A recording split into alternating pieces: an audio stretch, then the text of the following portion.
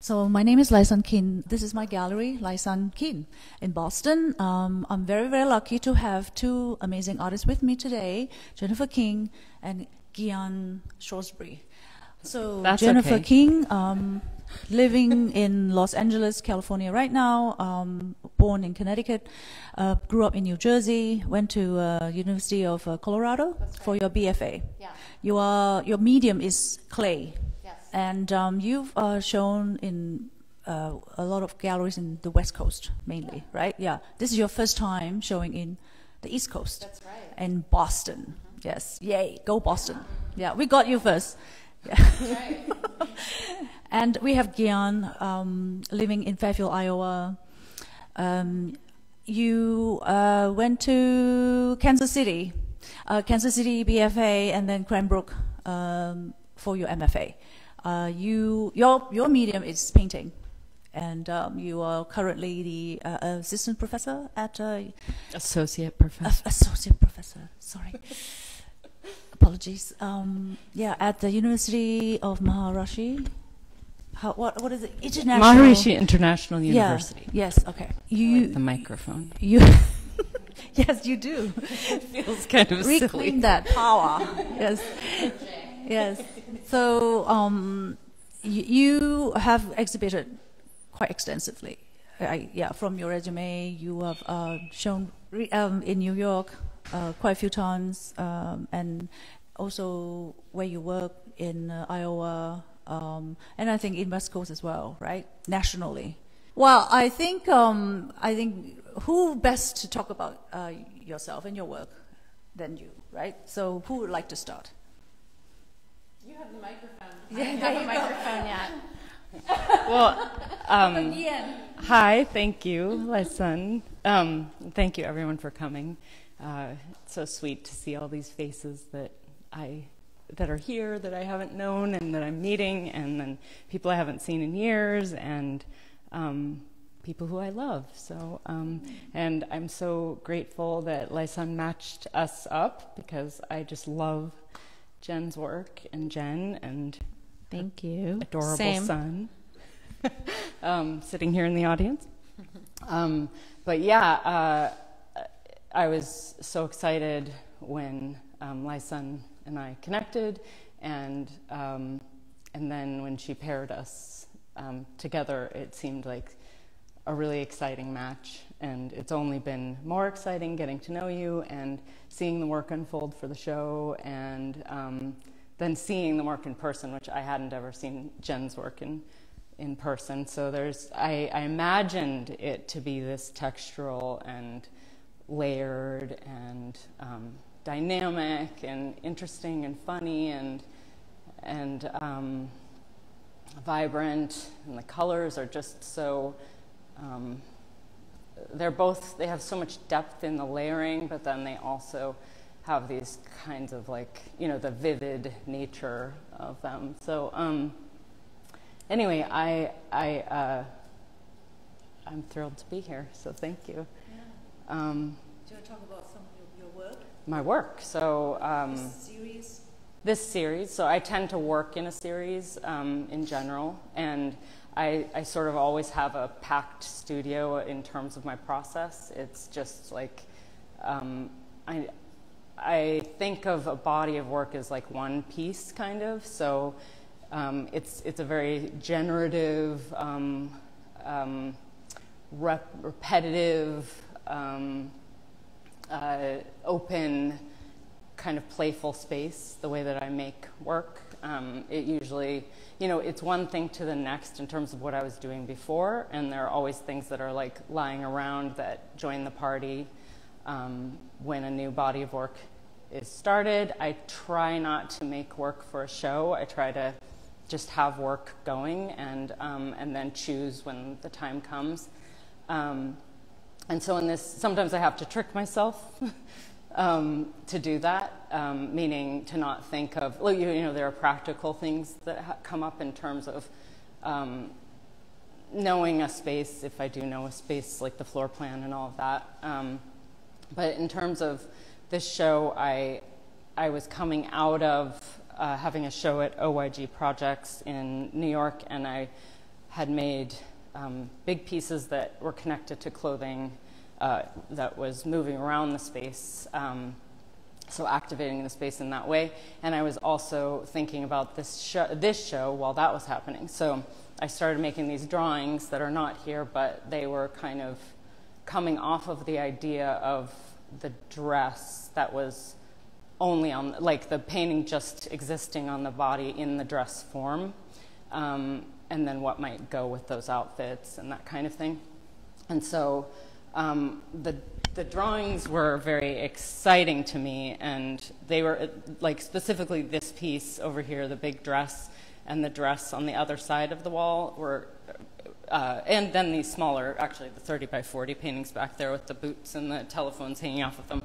Um, it, the idea being that the figure might be embedded in the dress or um, that the dress actually is not just something you could wear, but it's also something that could be the figure. Um, which always is running through my work. So there's a figurative nature that exists. The figurative nature of it extends to the actual surface of the piece or the substrate. So the substrate in my head is also kind of a body. So it's a running thread that's always kind of being played with. Um, that is also extended to just being able to make an accessory that a body might hold that would join an outfit.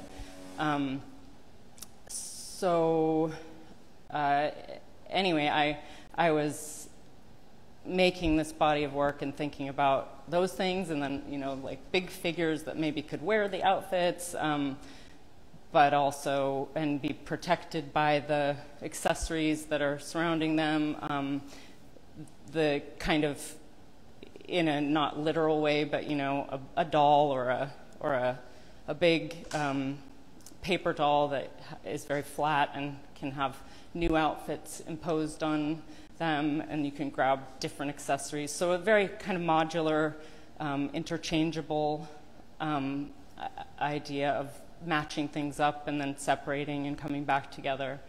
Um, and then um, things like the eyelash motif that came in that was it, it, became it was just a pattern I started playing with, and I'm pretty um, just intuitive in the studio, so um, I'm not really even though everything forms into something that is recognizable.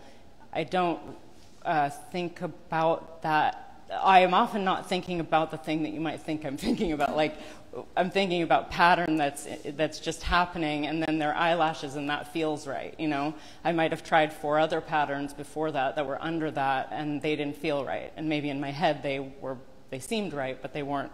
So the eyelashes came in, and then in my head I'm also thinking of that as like okay, a clothing line. Like in a clothing line, you have um, you have a, a fabric that is in most of the items in that line. So you'll have eyelashes coming in somewhere, and then you have a few where the eyelashes aren't there, because those are important moments where the, it doesn't all match. Um, so those are kind of some of the things that are driving me through the work. Um, another thing I'm um, like with this repetition of making a ton of work and having the repetition sometimes of even the same shape over and over. Um, not as much in this work, but still, you know, the repetition of something that's the same and then allows for differences to come in.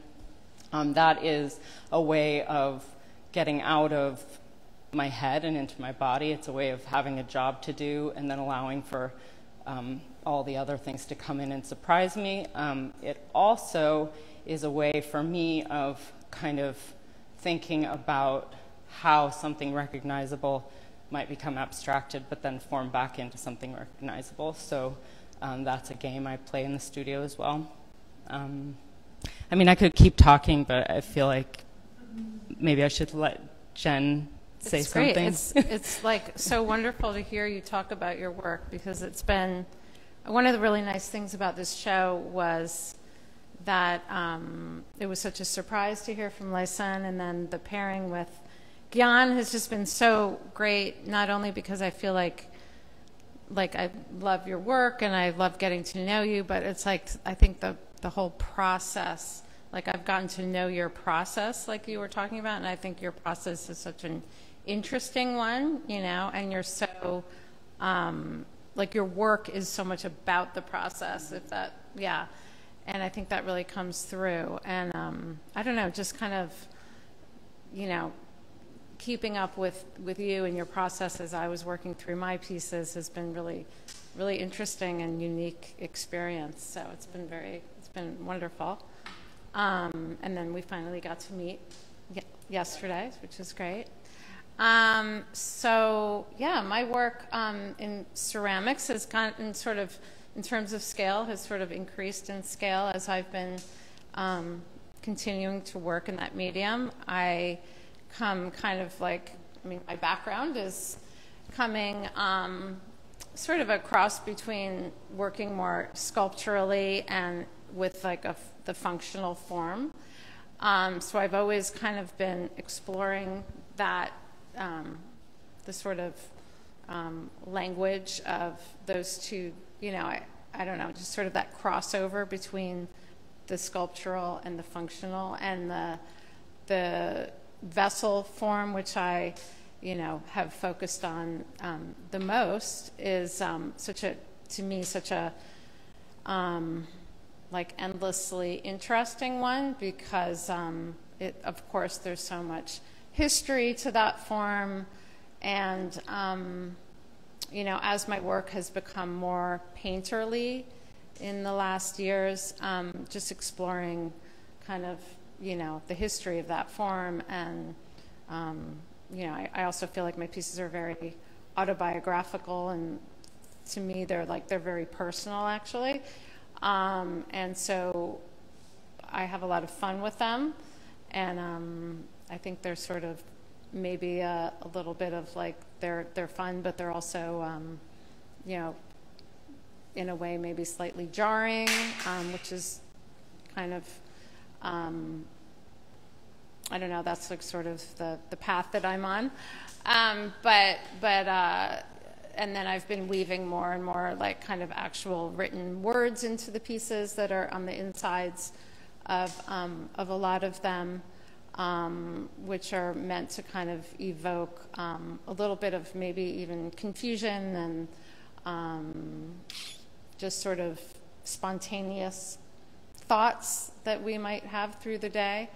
Um, so, uh, yeah, I don't know, playing, playing, playing off of like all of these sort of, this sort of like psychological landscape of living in Los Angeles and, um, you know, of course, they're also very female, and um, you know, I'm a I'm a mother, and I teach at an all-girls school, so I feel like there's a lot that comes into the work in terms of my my roles as a teacher of all these, you know, high school um, girls and um, being a mom of two um, also very much plays into the imagery on my work, um, which was also, of course, very interesting because I think in terms of Gyan's work that her work also has that kind of feminine energy.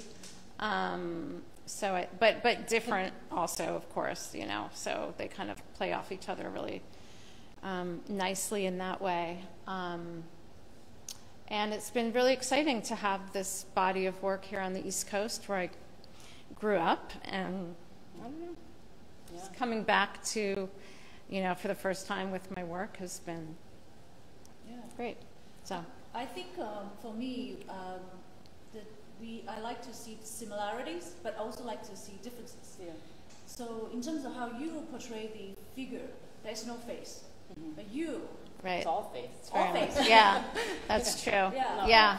Yeah. So Yeah, eyelashes. Well, that's the interest. Yeah, the Yeah, yeah. eyelashes Yeah. were such a coincidence. oh, tell Yeah. tell everybody Um, how, how you both we hadn't the, seen with the each other's work. I mean, we knew each other's work, but Yeah. we didn't see what we were making. Right. Um, and then we, um, do I need this? Do I need, Yes. um, and then we, Jen sent me pieces from the sh- for the show, and I was like looking around my studio, going, "What is going on with all Yeah. these eyelashes?" Because for me, it was a new thing. I hadn't Right. been thinking about eyelashes. That was really amazing. Um, yeah. And I mean, I mean, I the- think, yeah, uh, we were throwing away, throwing away, throwing around different terms in terms Yeah. of titling our show that were kind of, I feel like, kind of like uh, speaking about the idea of like um, protection, right? Right. Like that was like a word that really came up as like, you know, like sort of shields and protection and those kinds of ideas, and that eyelashes, right? They decorate and they protect. Right, so we were so we were sort of like we were like, well, we can't ignore these eyelashes. That has to be the root of the title. It makes the most sense, or it just felt right. And so then we were passing things back and forth, Yeah. and you were like, "What do eyelashes do?" It was in a text, and I said, "Well, they decorate and they protect." And you were like, "Bingo!" So then we started coming up with different Yeah. possibilities um, of how to address that, but not have it be the only Right. you know thing. And so I think with a title, it's nice to have something that has a little bit of humor and has a few different meanings. Uh, and Yeah. we felt like lashing out was Yeah, was it a good- became like this really kind of, I think, really fitting Mm-hmm. metaphor for yeah. aspects of the work. Yeah. How about color? Both of you, saturation of color. Yeah. And not just color, but like really amped up colors too. So Well, I mean, I think of color as sort of a protector in a way. It's like a way of drawing a viewer in, and it's also a way of pushing you away a little bit. The way that I am using color, um, kind of protecting, you know, abstractly the inside of the painting, or um, but also, and and maybe you know the figure that's in the painting, or or otherwise, um, but also you know weird color combinations or something that might be off-putting and also inviting at the same time. Um, there's a the way that I choose colors often has to do with nostalgia and um, instinct, um, or just you know, and it, but it's not always about liking or not liking. It's just like a feeling. Yeah. Yeah, I think that that's that's a really good way of putting it. It's about a feeling. I don't.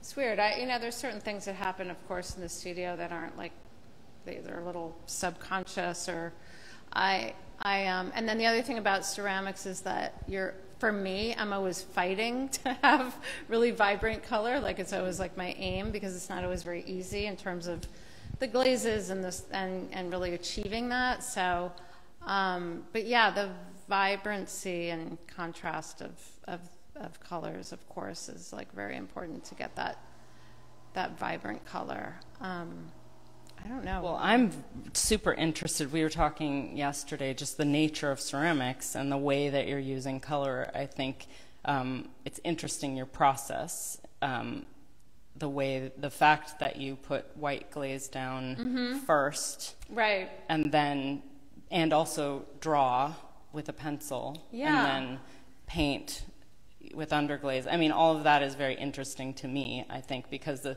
there there's still an element of what I can see as probably surprise for you Mm-hmm. when they come out of the kiln. Yeah. Um, however many times you're firing them, but uh, but I think there's this sort of control that you're able to to gain, especially over the color.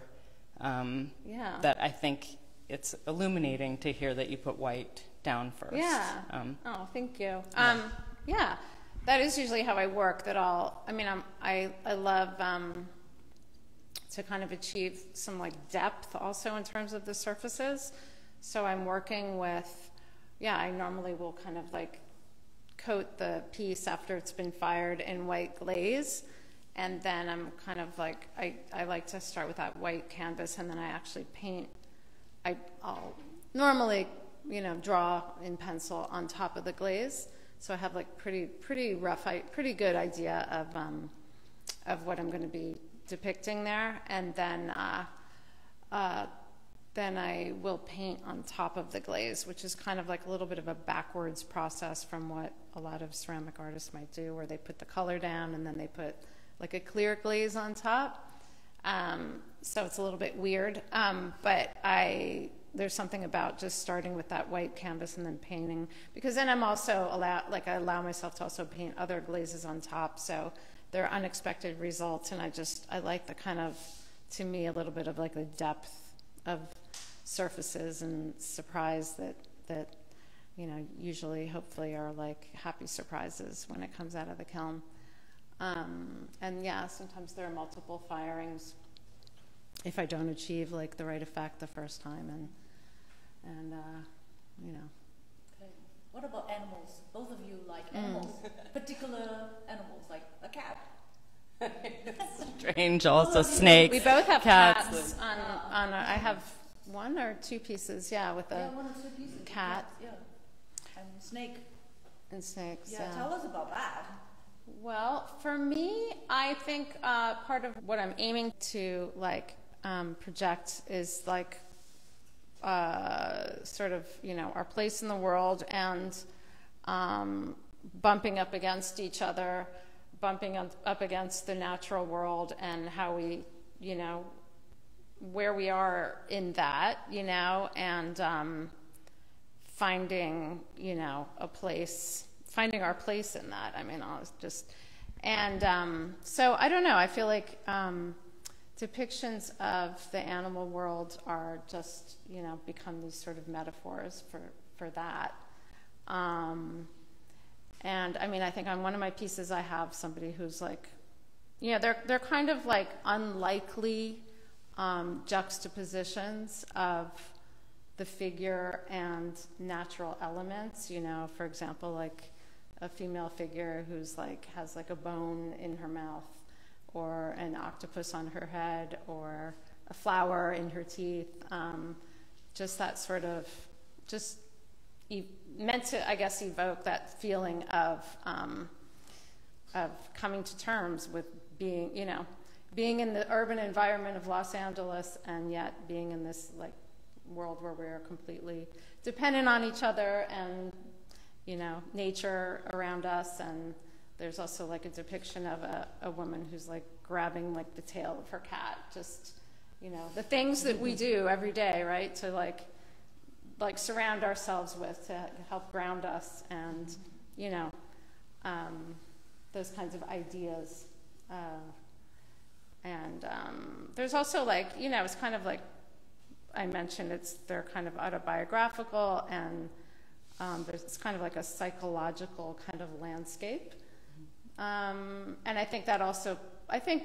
like at the root of them is like having grown up um, in a household that was very much about um, embracing art um, as a, like it was like the the sort of the penultimate yeah it was sort of i grew up with these parents who were both classical musicians and art was sort of everything in that household which was wonderful. But it was also um, there was also some like mental illness with a family member um, that was kind of became like very difficult to deal with and i think that all of my work like on some level always like reflects upon that experience so I don't know. I think that something about these like weird, intense kind of juxtapositions like is a reflection of of that. It just, I mean, it's not even on a conscious level always, but I think I'm I'm I'm talking about that in some way. Yeah, Yeah. it's interesting. Um, I think it's like many layered for me with the animals. Um, part of it is maybe humor. Part of it is like what we do for fashion, like what people might do for fashion, like how you know they might make a pair a pair of boots out of a cat, or but also it could be can you take your cat with you all the time? Um, what if I could have my cat with me all the time? Um, more in a larger sense, maybe more like protectors, like snakes coming out of the arms, like they're protecting this person or whatever, this figure, but then they also might be eating, you know, becoming this this figure might be becoming an animal, might be part animal. Um, uh, they could be protecting, they could be harming. Um, then, uh, yeah. So I mean, part of it is is it's it's also just like maybe those are the clothing items that they're wearing, you know, because I'm always thinking about different outfits and how an outfit could be, look more or less like something. So They feel like empowering. yeah, it's there. Like I- there's like- an element of Yeah. like superhero power. You know, that's that's sort of an indicator of power or, or something that, that, you know, a superpower that you have or um, that you can carry with you. Um, confident, yeah, right. You could be shifting back and forth between, yeah. So those are the kinds of things that are coming up. Right.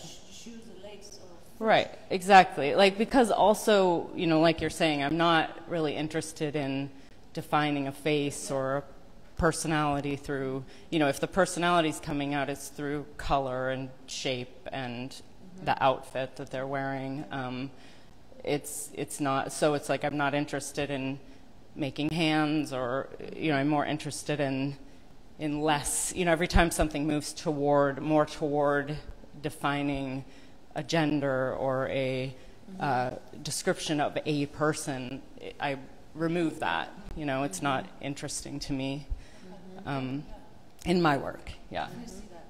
Anyone? have- Oh, look that. I have a question.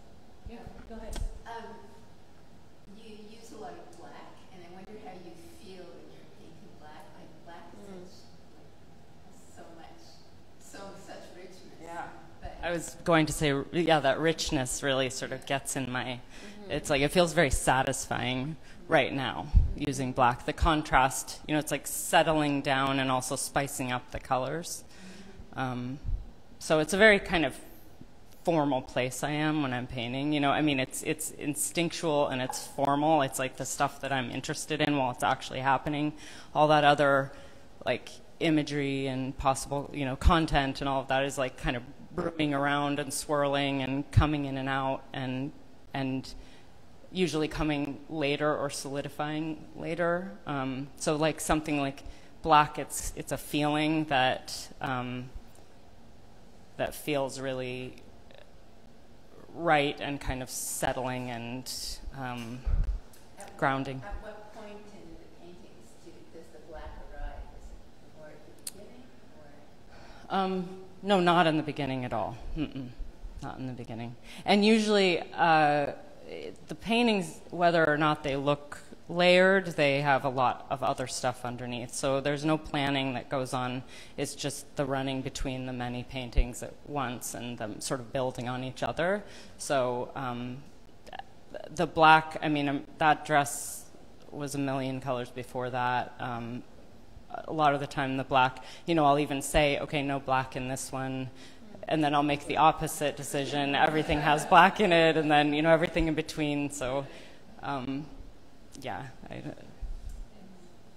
I have a comment that's more than a question because I really think that the two of you play really, again, really beautifully together. Kind of takes me to- I think about um, art history because I'm thinking about Egyptian walls and Greek urns and the, the storytelling that's happening in the urns and the, the motifs that are happening, like almost like the sun god, or, you know, what I mean, we're looking at Ra symbolism, you know, but it's so current. So I just wanted to say it's a really nice juxtaposition, although I don't love that word. Thank you. I actually thought that when I saw the. Um, the- I mean, that's a very perceptive comment. Um, and and I when I saw the installation shot of when just this piece and those two, um, I, I thought that immediately. I was like, oh wow, yeah, So the wall of an Egyptian, right, you know, and yeah. It- totally, yeah. So it's, it's totally wrapped up in exactly what you're talking about. and and I was just at the Field Museum the other day in Chicago, and there were these beautiful Egyptian, you know, objects and and drawings and paintings, and I again, all of that was like resonating. So Even the proportions feel like, you know, you have these purposeful. Yeah. proportions in the paintings. It's almost like, you know, it's like a gridded thing that's like. Yeah. there. yeah, yeah, it's really perceptive. I mean, I was going to Caddy quarter uh, follow up on that question because you know, artists you're always looking for things, and like art history is loops. Sure. And there's another loop, and that's 1930s Picasso, Matisse, and those ghosts. Who, who, and they were looking at the Egyptian masks, Yes. of course. Exactly. But that kind of that you know, in the cutouts, you know, so he's in the south of Fr- Matisse is in the south of France, making these cutouts with his daughter's being tortured by the Nazis. And so there's this element of timeliness. Like, why does this work look fresh if we're looking at Egypt? If we're looking, you know, like, so I think that formal language is kind of interesting in terms of the choices you're making. Yeah. yes. Thank you. Such like interesting perceptions. I mean, Yeah. Yeah, and those are huge influences, you know, all of that. But I feel like, um, I don't, I mean, in terms of conversations, I always think of it as conversations in your studio, you know, that you're having with history, with what's happening around us now, what's current, what's past, and we're all sort of chewing on these things at different points uh, in a more prominent way and less. And it's sort of um, all the, I mean, all of that is very relevant to the work, though, and what's what's being um, what's coming up, and then you're, uh, you know, when something comes up, and then you start looking at it again, um, you're like, you know, it becomes uh, very relevant suddenly in your work. Something like Matisse has, you know, and the cutouts, they've been relevant in my work for since I was can remember, you know. Have you seen his, um, you know, using the chapel, the, where the, um, the priest's stole? Yes. Like Yes. flattened? I love them. Yeah, I love those.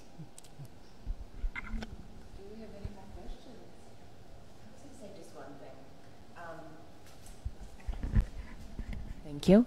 Um, uh, both of your works are, are amazing, but I am, I'm looking now at Gyan's paintings hanging as un, you know, unstable, un, um, you know, stretched. Unstable elements. th- it's it's sort of like this offering of like a disguise, or it's really light clothing. Like they're, they're it's packable, it's wearable, it's try-onable, um, and I really like that um, with the shoes and the necklace and all the the other objects. It's like the the accoutrements, like the accessories that are interchangeable with the figures and, and their outfits, and um, it just there's it's so playful and watching your work evolve over these years and it just they look great. And I love especially the grommet hanging for these I guess it's all of those ones but they, it makes so much sense. And and with your your pots I mean it's gorgeous.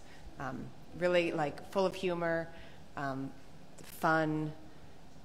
There's like a cartoon element that is like really like bold and it looks great. So congrats both of you. Thank you. Yes, the flexible nature is something that I really like. I, I, for the reasons that you're saying, Crystal, and then you know, like the idea that it could even. I remember Lisa Mexon, like um, she was talking about and wrote about how they could almost be shelter, you know, become shelters or something. Like you could get inside of them, you could wear them, they could have multiple purposes, they could go inside and outside. Yeah, so it's like the right. So. Um, so yes, so down to the, so it's like that's sort of what I. It feels right right now, at least, to be making these big pieces on the flexible, you know, because they're also sort of like flags and um, just the fact that they could take different.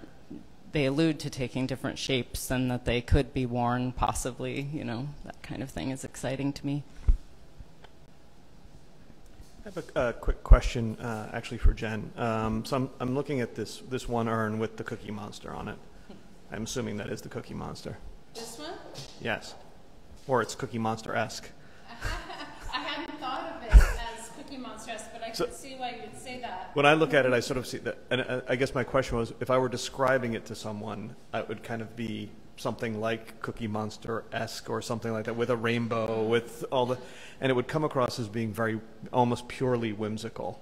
But when I look at it, it doesn't give me a, a sensation of pure whimsy. There's something, whether it's the color of the background slash sky or whatever, but there's something about, and I would say that about several of the works. Like Yeah. the, if you described it casually, it would sound whimsical in a way, but it reads much more serious. And I'm just kind of curious how you either try to achieve that or how you think that that's achieved or whether you think that's, you know, purely a personal reading Yeah. of the work. That's a, yeah.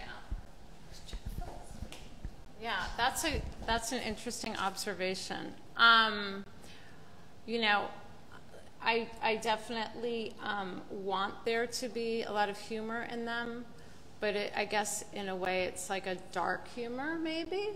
Um, I think, and, and I don't know why that is. I think it's just um, a reflection again of um, some of these experiences that I've just had, you know, like I was mentioning that I, you know, yeah, just having come from this house that was like very um, wonderful, but also like went through some very jarring times that were really formative for me. And I think um, the pieces just continue to reflect that.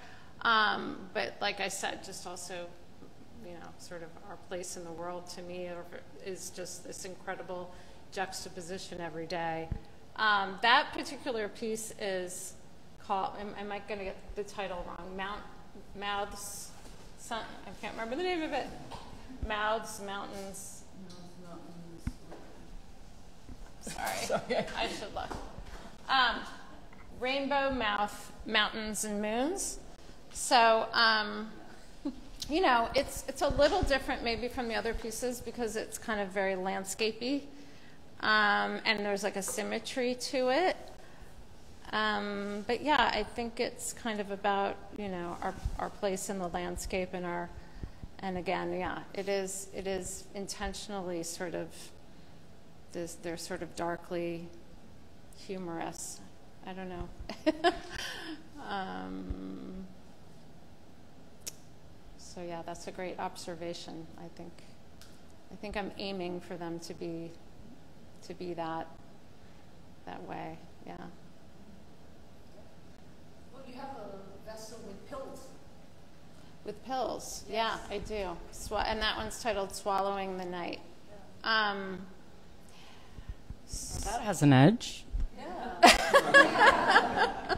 it does. So, yeah, there's um, underneath, you know, uh, kind of slight sadness, maybe. Um, yeah. Melancholia. Sure. I mean, and then the other thing I guess I would say is that the um, I started making these larger pieces during um, the pandemic. Um, like it was a kind of oddly very very like um, I think my work kind of transformed during that time, and I mean these form not you know I had I think this is like my second body of work um, that I've made since then, but they have so but during the pandemic they kind of became these larger vessels that became very painterly. And um, I think that I do also feel like the a lot of the imagery is still like continues to be kind of reflective of that time because it kind of grew out of that time you know? And for me it was like actually despite like all the scary stuff that was going on and I was at home and my kids were on you know doing distance learning and all that awful stuff um, it was also super productive for me. I spent so much time in my studio, and it definitely like helped me so much to have that time in my studio. And um, and I think the imagery also is maybe kind of like like you know dark um, a little bit because they came out of that experience. Um, and again, humor just in my everyday life is just like so important and it's like important to me as a person and um, so I, I think I really want the pieces to have that element of humor too. So um, so yeah. I, I just have a suggestion that rather than dark, because I, I don't exactly see mm. you know that kind of symbolic darkness in it, but I but you know I'm suggesting the word mystery and yeah. or a question that you created. There were questions in your life at that time of making, and then you know so that right. those questions bubble up apart. That's a great. That's a great point. Yeah, the that to use that word mystery. There's definitely a lot of mystery that goes. That is, yeah, that is in the depictions and in the whole process. And um, Yeah, there's definitely dark work out there. yeah, You know, this is this Right. to me doesn't it's not dark work. yeah.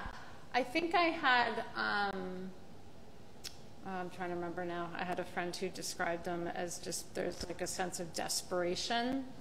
So maybe that, you know, a little bit. Um, yeah, I don't want them to feel super like heavy and dark. I guess that's also why there's humor in them. But um, but yeah, certainly mystery and like there's they're even a little mystical. I think I have crystals on some of them, and you know. Um, I don't think of myself as a super sort of like new agey person or anything, but I think again, just like I was saying with like the cat and the you know the animals and the depictions of flowers and you know um, it's just like to me like these touchstones of things that we look to right in our daily lives to maybe Yeah, and that like also speaks to the idea of just being human. Like Yeah. we're, not sure we're just gonna have all of it, you know? And it's like I think that it shows in the work it's like it's the whole human happening here, you know? Yeah, right, right, right. The daily, our, our day to day, and our, you know, and our like little like The messiness. The messiness, and maybe like the little like seconds or moments of like, I don't know, transformation or clarity, or you know, and how those things can just like happen so quickly, or you know, like a, a door opens That and makes it really relatable too, because everybody has it. Everybody feels these Right. moments, Right. know, that are like, you know, a little bit mysterious or dark or whatever it is, because it's all of those things. you know, and Yes. There's also joy and there's moments. Right, right, right. Yeah, yeah, yeah.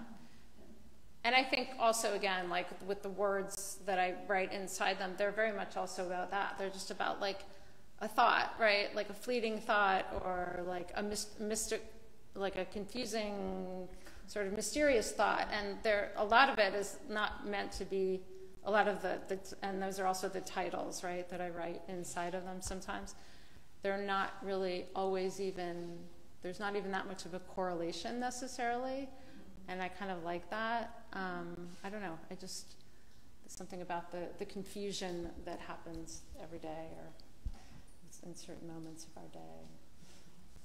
I think you guys both have that sense of playfulness in your process in the work. Like these have like that playful, playful Yeah. element to them, and then like Anne's process has like a lot of play and even um, you know just the final result. Like you can, like in your own mind, it, it allows the viewer to play with the different scenarios and the different outfits and the different telephones or things like that. Yeah, I love that the, that they both have that playful quality. I mean, Yeah. both are. Well, and I think that's like in in a different in different ways. It's in our both in your process as well, allowing for you know words to come in and sentences that don't necessarily directly match up with the imagery, and allowing um, the drawing element and the glaze to drip and all of that stuff is, you know, there's this play between control and Right. N- not having control and allowing the elements to take place. Um, Yeah. Yeah. So yeah, there's something playful about that. Mm-hmm. For sure. I have a practical question. I haven't talked about this, but who made your necklace? Uh, they're not made by. I I purchased them for the three of us. I got them at like a little boutique in San Antonio. I don't know who made them. It was too perfect. I had to. Yeah. They're- I know. I love it. It looks like it's something that you would have you would have actually made. yes, if I made jewelry, I might have made it. Haven't done that yet. Can, can you share some behind the scenes from your process of making your work? You know, in like a in your studio, how does that happen? Do you work? Uh, do you work in different pieces at the same time? You start and finish. Um, what happens in the kiln? You know, just Me? Uh, Or both of us? Both of you. Both of us? From a hands-on perspective. Yeah, that's a great question. Um, well, for me, it's um, you know, it starts with building the form, of course, and for me as a ceramic artist, sometimes that means um, sitting down, and sometimes I will actually use the wheel and throw just like sections of a piece, and then I will um, also coil build a lot of the pots, so sometimes it's a combination of those things. And that's kind of very much in the moment, or I will often just hand build the whole piece. Um, and um, it's a rather long process. And then um, I don't always have an idea of how I'm even going to paint them at all at that point. I usually don't. Sometimes I'll have like, you know, a couple ideas in my head, but they're pretty loose. Um, and then I was telling Gyan yesterday that um, I have a background also in working as a graphic designer and an art director, something I used to do. And so I'm very, very comfortable and kind of quick in Photoshop. And so I've started sometimes even after the form is built, I'll take some photos and I'll play around in Photoshop with some ideas of imagery, which I've like grown to really love that because it's just so quick and easy for me to try out different things um, on like my tablet. Um, and uh, once I, you know, once I get the piece back, I talked a little bit about how I'll usually like coat it in a white glaze, so I sort of have this white canvas. Um, and I'm usually working on a couple of them at a time, or then I'll have some others that are in like a, you know, hand, they're still being built, so sort of, you know, with these pieces, it was all in the same period of time, of course, but I would be painting some and at the same time be building others, and there's a lot of back and forth and taking breaks between them and, um, you know, drawing on them and then, uh, and, you know, putting, more layers of glaze and sometimes painting or firing them twice. Um, I have a studio that I, is in my, is at my house, which I love. I found that, I find that that's really worked really great for me. Um, because I can just be in there, you know, as much as I possibly can without having to leave that, leave my home. Um, so yeah,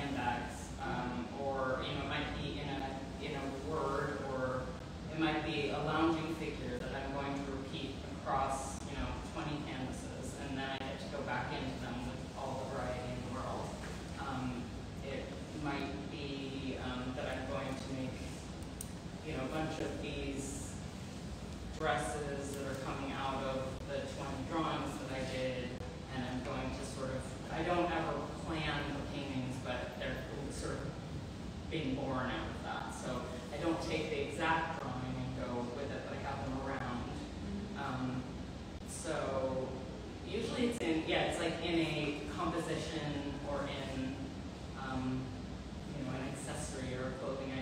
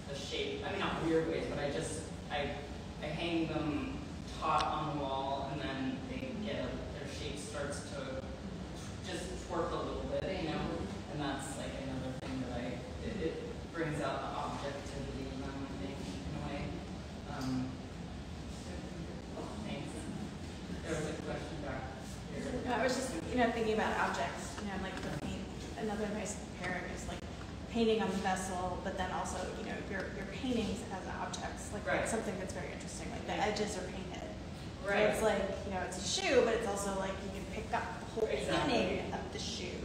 Yeah, and I really do think of corner to corner, back front, whatever you're see, not seeing, seeing, it's just part of it. So um, I do think of